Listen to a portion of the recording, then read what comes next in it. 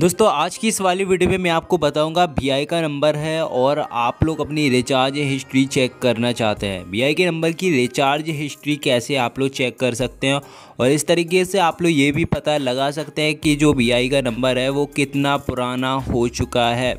ठीक है? अगर आपको किसी अदर ऑपरेटर में पोर्ट करवाना है तो इसके लिए भी ये इंपॉर्टेंट रहता है दोस्तों। तो अगर गाइस आपको बी के नंबर के जो भी रिचार्ज हिस्ट्री चेक करना है, कितने रिचार्ज हुए हैं अभी तक, वो चेक करना है तो सबसे पहले आपको क्या करना है? माई वी आई एप्लीकेशन के अंदर आपको चले जाना है। इसके अंदर यहाँ पर आपको अकाउंट के अंदर जाना पड़ेगा, और जैसे ही आप लोग अकाउंट के अंदर नीचे जाएँगे यहाँ पर recharge history and prepaid bill का ऑप्शन मिलेगा आपको नीचे।